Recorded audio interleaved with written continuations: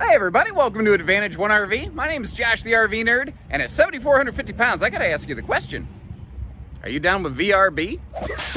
Specifically, the Venture rear bath back here. Now the model number, I, I think almost steers you the wrong direction. It says, oh, it's a rear bath, like that's the focus point. I don't think so.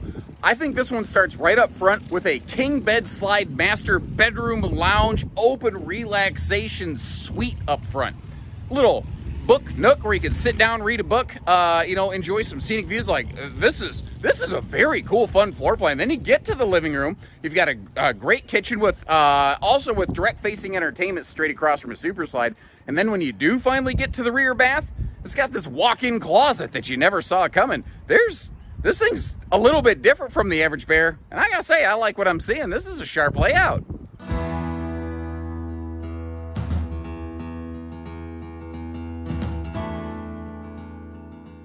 And it doesn't take long to look around this one to see that it, it really deserves the, uh, the name Like New. It has earned that quite a bit.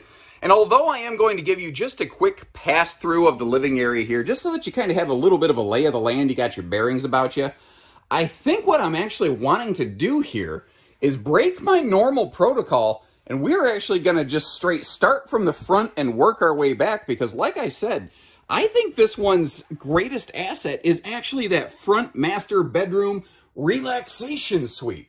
And it all begins with a little Legend of Zelda secret as these doors open. I think what I like best about The Legend of Zelda as compared to Mario was that the princess was always in the same castle. No stupid mushroom guy ever had to say, sorry, she's somewhere else. Anyway, you get the idea. I'm, an, I'm a nerd. Um, look at this.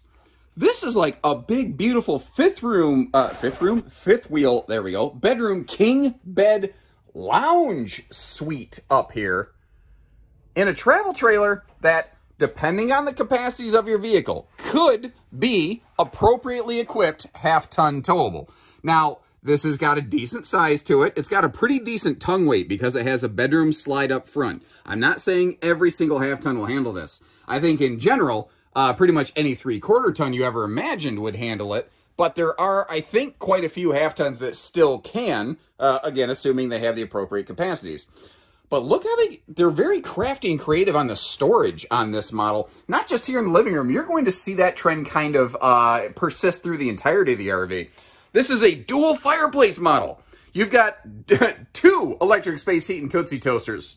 two, count them two. You've got one here in the bedroom and then one in the living room. And I tell you what, if you're going to be winter camping, and uh, even if you just leave the RV winterized, those two electric fireplaces will basically heat the RV for you, which is really cool. Now, there's one other uh, little thing I really want to point out here, which I think is kind of cool. I'm going to pull this pillow out of the way because you notice there's storage behind the hanging closets right here. And in fact, those, uh, because most of this company's travel trailers have a traditional front bed. The front wall is basically pre-jigged already keep outlets there. So they said, you know what? Let's go ahead and leave those outlets. And then the other thing that I thought about when I was looking at this is I kind of called it a book nook earlier. You could very easily just kind of rearrange this on the fly real fast and have like a little kind of lounge space Maybe it's been a long day. Maybe you need to unwind. Maybe you just you want to curl up with a book or sit there or have a blanket, look out the window, whatever the case may be. That's a cute little cute little space right there, I think.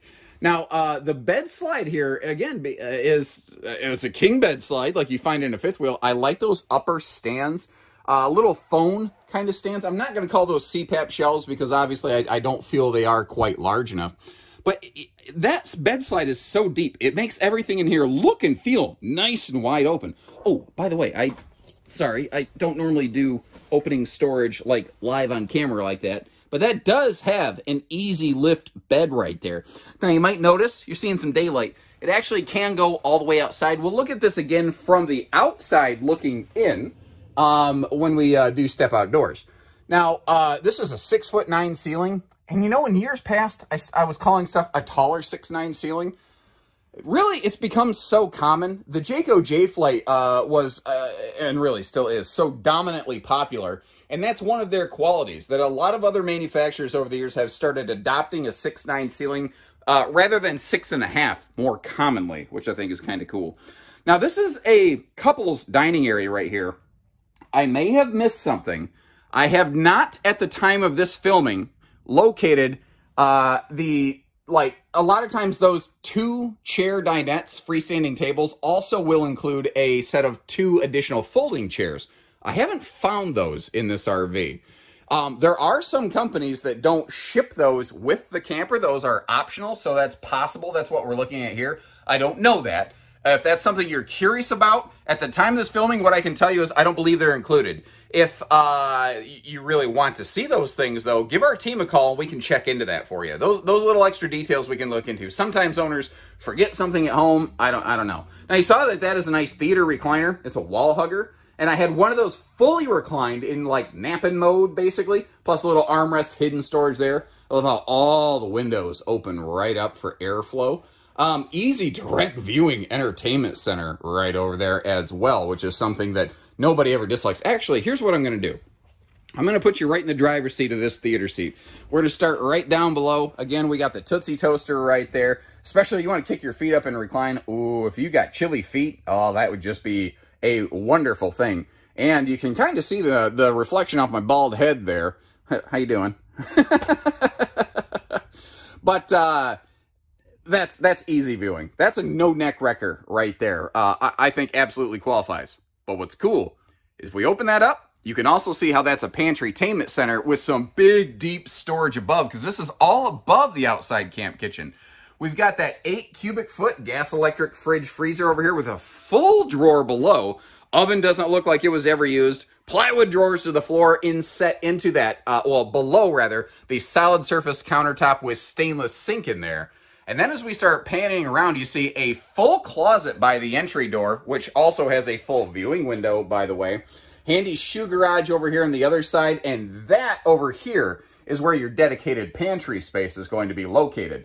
And what they kind of did here is it's a classic feature. If you go back through the history of a lot of campers, Fleetwood RV was very well known for doing these split double door entries into the master bedroom.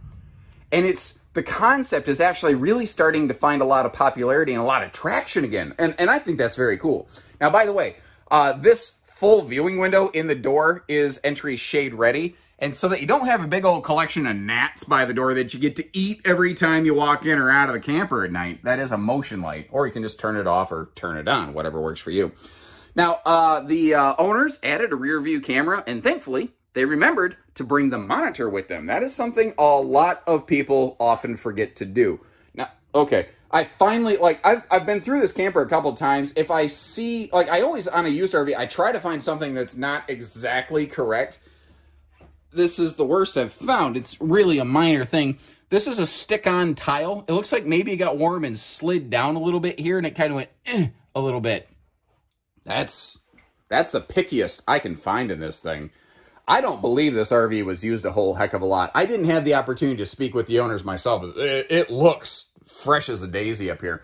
Now, I want to draw your attention to this skylight up here because we are going to see it again from the top down on the outside. And specifically what I want you to see is there's no damage up here. I hope I'm not making you motion sick. I just realized that that looked like a Top Gun danger zone kind of shot right here. Cue the Kenny Loggins music, I'm not sure. But the reason I say that is because you'll see where there's some extra sealant applied around that skylight. I wholeheartedly believe it was done proactively and not reactively. I don't think they were fixing a leak. I think they prevented one from ever occurring. Uh, that's that's my estimation. Now, back here in the bathroom, I got to get around this door real quick. Now, in the kitchen, we saw solid surface counters.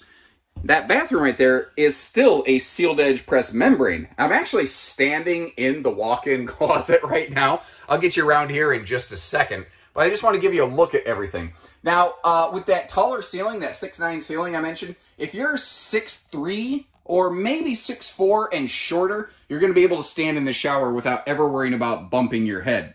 Then I spotted something over here. I was like, wait a minute, what is that? And I was like, this is a really good sign, I think. this is what they did here is they hung a little paper or uh, toilet paper uh, roll, which I think is actually a pretty good spot for it. Let me get that back out of the way. But they put a little non-stick pad under that so this metallic thing didn't slide and grind and dig up the wood. That's a good sign. It's simple, but it's smart and it's a really good sign of decent quality of ownership. And I have seen so many RVs over the years the absolute highest of class and the absolute most bargain basement built campers you've ever imagined in your life. And the number one most influential factor in the lifespan of that RV is not the build. It is 100% you, the owner. You, the owner, absolutely determine how nicely something holds up over time.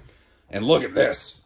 You know, a lot of rear bathrooms like this, they'll have a camp kitchen and then like some weird cabinet above it. They put that mini camp kitchen behind the entertainment center. So what they let us do here is have an additional full-on walk-in closet off of our master bathroom. And what I think is cool about that, I think this floor plan really benefits from that. Because we're, uh, remember we have that um, lounge in the bedroom up front, potentially eating into what could have been closet space, but it also gives us that nice windshield that makes it look and feel open.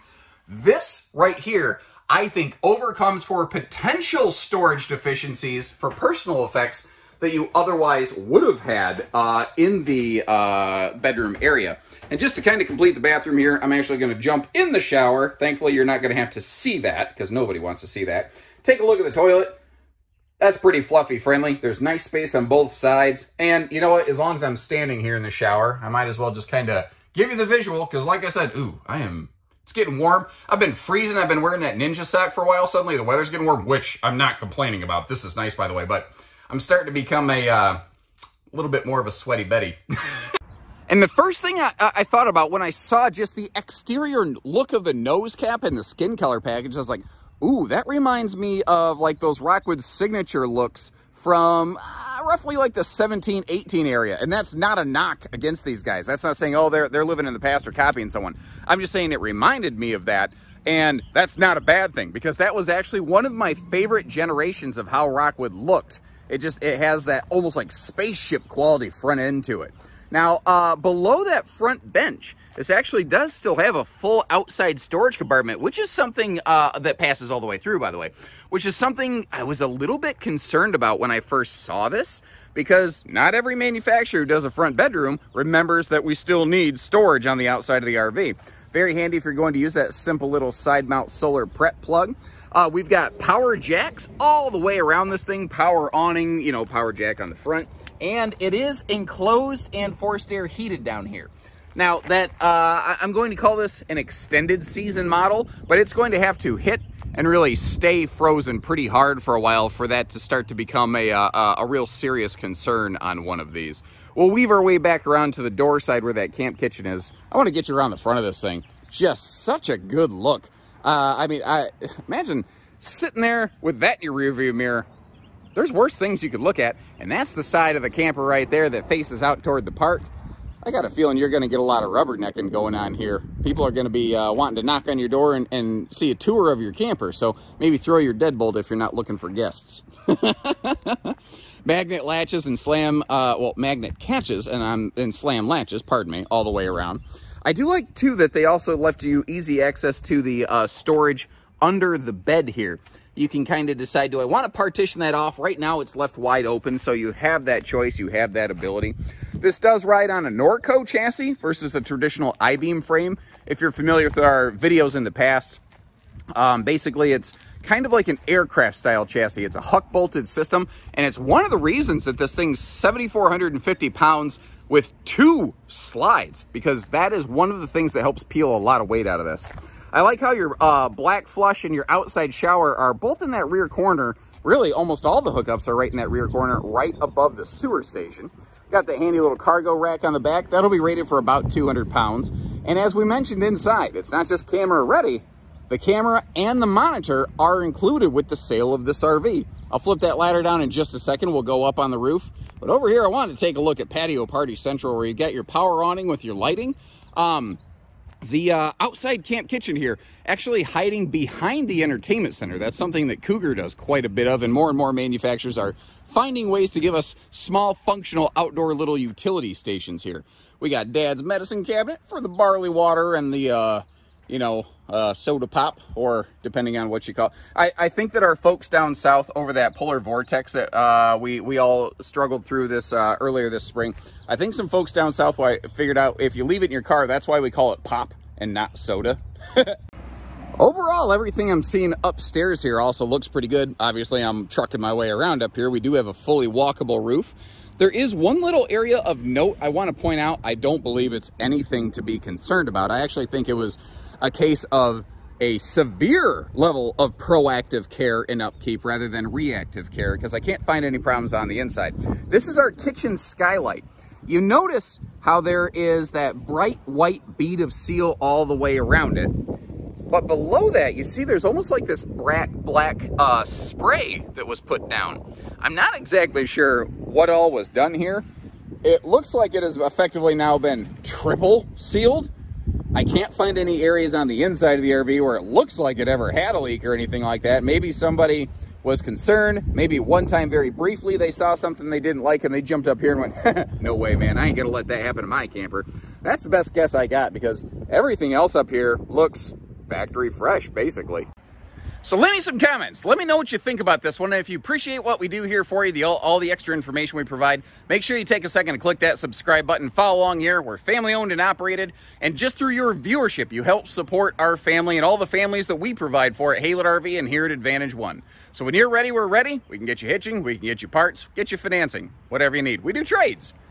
Just need the chance to work with you. So take care, stay safe, have fun, and have an A1 day, everyone.